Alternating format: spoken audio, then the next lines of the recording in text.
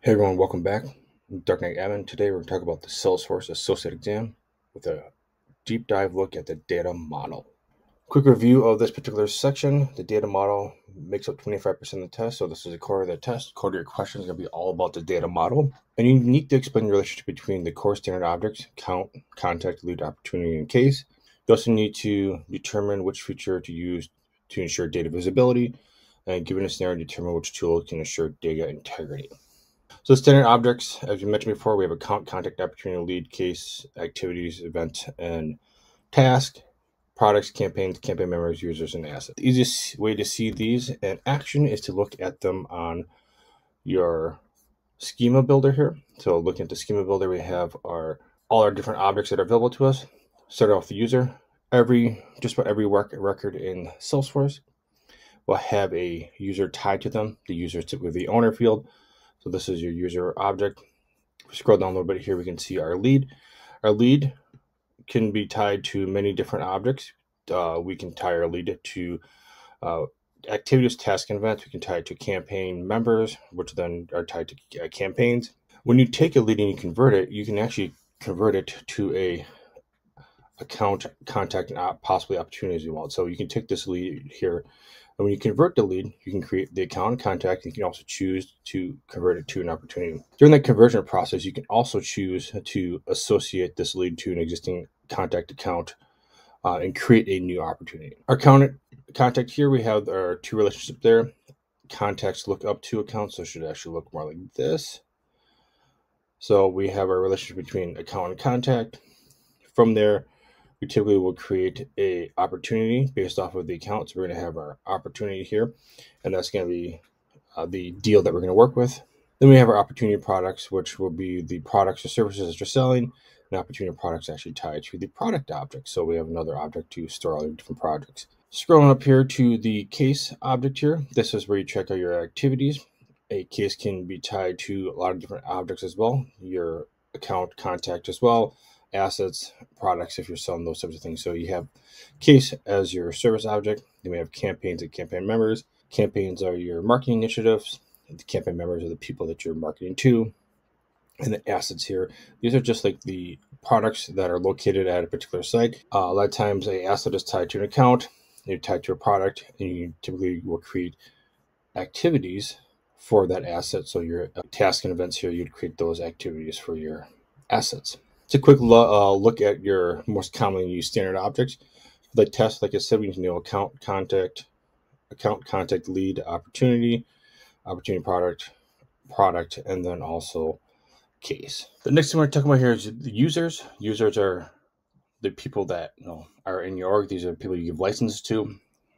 You set up a user by giving them permission sets and profiles. With those two tools, we can assign apps. We can give access to tabs record types, page layouts, object permissions, field permissions, custom permissions, login hours, and login IP ranges. So on the profile permission set, there are two different things, but they do the same thing. They grant access to particular things.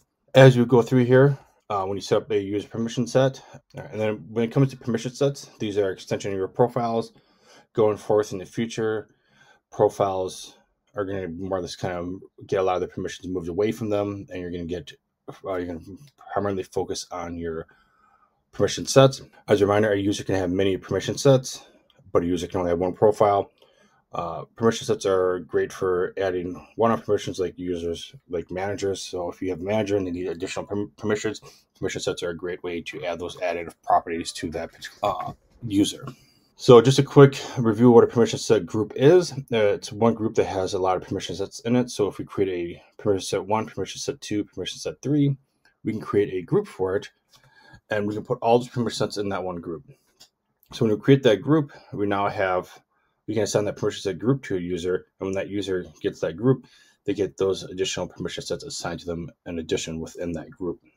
When you set up permission set groups, you also get the cool added ability of having a muting permission set, which means that any of the permissions that you assign within that group, you can actually mute out particular ones that maybe grant additional access that you don't want to. So I can create a muting permission set three that will remove access to any of the other permission sets that are available. So let's say on permission set one, two, and three, I have edit access for accounts and I create a muting permission set that says no, they can't have edit access for accounts, that permission set group now does not have edit access in the account because of that mute permission. All right, so before we dive into actually looking at profiles and permission sets, please like and subscribe. From the setup menu here, we can client type in users right here, and this takes us to all our permission set groups, permission sets, profiles, and users and user management. When it comes to the profiles, you have your basic ones, which are going to dictate what you can do within here. From here, we can just take a look at a quick one here. We'll go to System Administrator. From the System Administrator profile, we can see we can do a lot of different things. If you want to edit it, you go ahead and click Edit, and you can change the different uh, app settings for the different uh, the apps that are available. Visible means you can see it. Default means that's the default. So Playground Starter, this is a sandbox uh, playground here, so this is why that's the default. Uh, any of the connected apps, any of the default tabs. When it comes to the tabs, default on means they see it by default. Default off means that they can see the tab, but it's not one of the inherently turned on. Tab hidden means they can't see the tab at all. So forth, and then we have access to your all your administrative privileges. But essentially, this profile dictates the access to what you can see. So if the accounts here, we can, they can read accounts, they can create accounts, they can edit, delete, view all, modify all. View all and modify all. These are the special privileges that you shouldn't really give out to a lot of users because they override just about everything in the system. View all means that I can see all records in the system, no matter what anything else I have when it comes to role hierarchy. Modify all means I can see all records and also modify all the records that are available in the org. Permission sets look just like profiles, and we can take a look at a uh, permission set here. Take a look at the Service Cloud user permission set. This is uh, you can set object settings. It looks a lot like how you would set up the different uh, ones out there. You can create your own permission sets too as you see fit. You click new. You can specify a license type. So if you want to have permission set tied to a license type, you can do that. I'm just going to use none. Then from here, we can go here and set uh, like object settings if you wanted. So we can say for the accounts here, we want to edit this and we can say that they have read access for the account. And then we can also dictate the field access so they can say they can read this, which means they can only read the account number. If we want to modify the account number, we can do that. Um, so we can add the two together. So we add our permission sets, all we add our permission sets, permission set groups, and our profiles all together to create a cumulative property to uh, extend our abilities for access to objects and other permissions that are available to us as well. For the next thing, we're going to take a look at organizational security. This is how you grant access to the org. This is basically if that user. Uh, you set up your password policies, you set your login access policies, you set up your multi-factor authenticator as well. So you can set up your password policies. So are they to expire 90 days? How many? What's your password history that we're going to enforce? What's our minimum password length? So this is as many characters as it must be. Or is there any complexity requirements? Are there any other question requirements? Uh, what's the number of invalid login attempts before you lock the user? And then if a user is locked out, how long are they locked out for? So you can set up all your different uh, password policies there. You can also set up your domain. I always recommend setting up uh, your domain. I currently have a domain set up for that. You can just check your availability and go ahead and go from there. Like I said, we talked about objects before with profiles member sent you see what objects users have. Um, read means you can see records, create, you can make records, edit means you can modify records, delete means you can remove records, view all. You can see all records and modify all means you can see all the records and modify all records. Um, basically everything above. View all, modify all will override any sharing that is set up within the org. Uh, when you set up a field, you can say basically does the profile have access to the field or does the permission set have access to the field? If you're on the profile level, you can see what the visibility, if it's visible or read only. Uh, at the actual field level, you can also take a look to see for the account currency, is it visible or is it read only? So you can take a look.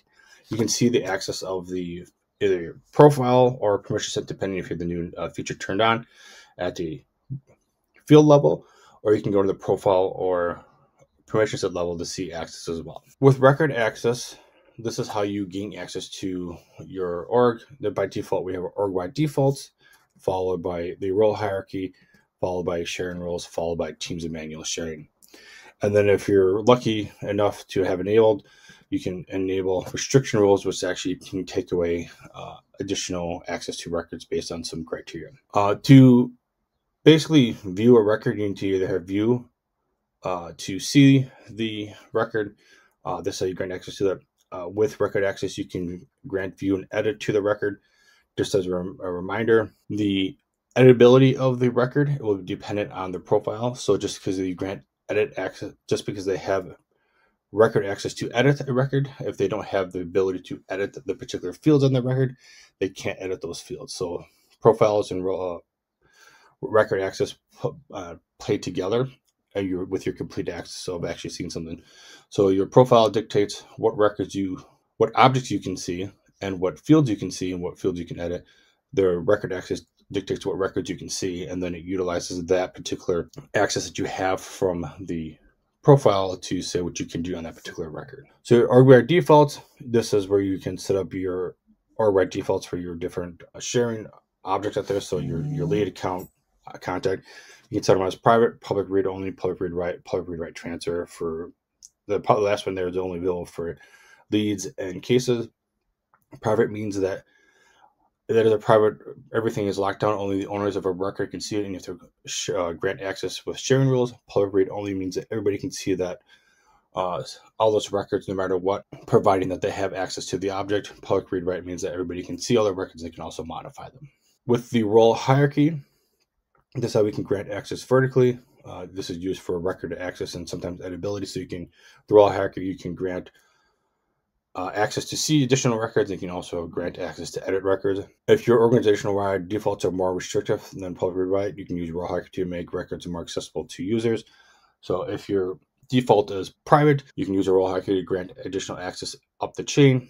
If it's public read only, you can also use role hierarchy to grant edit access up the chain. By default, all standard objects use the role hierarchy. With custom objects, you have to specify whether or not uh, you want them to use the role hierarchy, and that is done right here. So these are all extended objects. You can see the grant using uh, hierarchies. If you want to do that by custom objects, you have to enable there for them. So sharing rules, you can create multiple sharing rules. You can uh, the first one is owner base, which is based on the owner of the record. So if I own a record and it's either from one of these things, I can then grant access to uh, portal users, public groups, roles, territories, any of those things. And then I can specify the access of read only, uh, read write, or private if I want, depending on the, the access. So in this particular one here, I'm granting access to account and contact access, but I'm leaving opportunity cases as private because I don't want them to see those things. I only want to see the account and contact.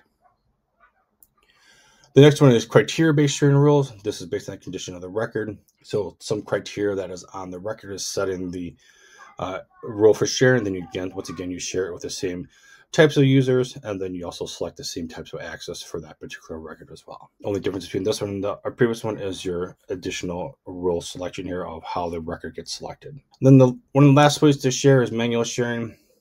In order to have manual sharing, your Org-wide defaults to either private or read for the button to share the records to make that available. Once that is available, you can go ahead in here and change all your different access to all the different things, uh, however you see fit. And then team sharing, this is only available on account, case, and opportunities. So you can build either ad hoc teams or set default teams, and then you can grant uh, access to individuals within your org using team sharing that way. The custom fields is how you create additional fields to track additional information. You can create auto number, formula, roll-up summary, all these different types here. And when you create a custom, we're gonna go back over here we go to the object manager and we can take a look at our objects. So these are all the different objects that you can do, uh, you have within Salesforce. We're going to create a new one. You come over here and click create. You can create a custom object and then you can create the custom object and add fields to it. If you have a spreadsheet, you can also create an object from a spreadsheet as well. Uh, but if you want to click into account here, we have all our different page layouts, our button links, all that fun stuff. To create new fields, you go to fields and relationships here, you see all your current fields. Then you can come over to new here and click new and select all your new field for yourself. So you have all these different fields if you want. Go ahead and pick text.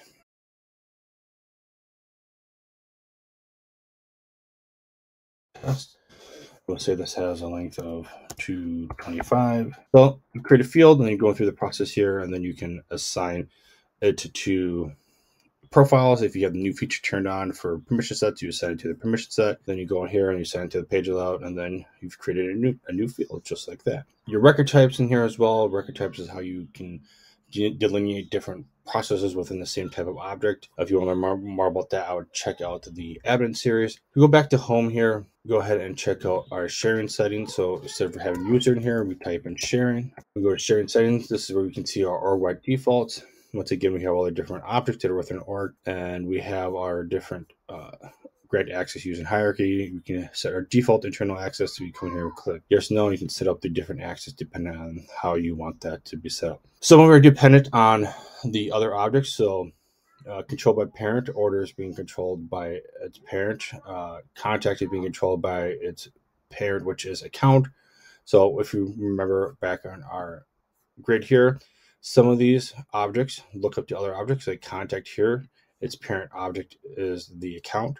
So it's going to inherit a lot of permissions from the account object. So yeah, that is uh, your sharing settings there. And then from there, we can create, create sharing rules underneath our sharing settings here. So we can create a new rule and you can give it a name. You can specify based on record owner or criteria, and you can set up your criteria, then you specify which roles groups, depending on what you have enabled in your org.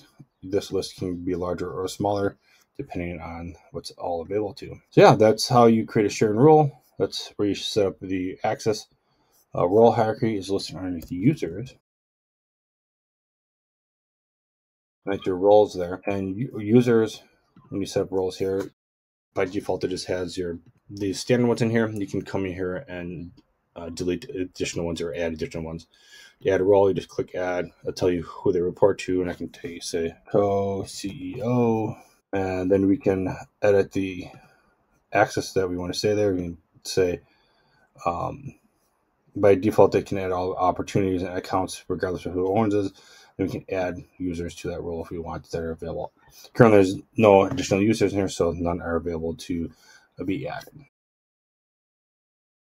So yeah, that is roles. All right, thanks for coming. I'm the DarKnight admin, and I hope you enjoyed this third part in the series of the Salesforce Associate exam.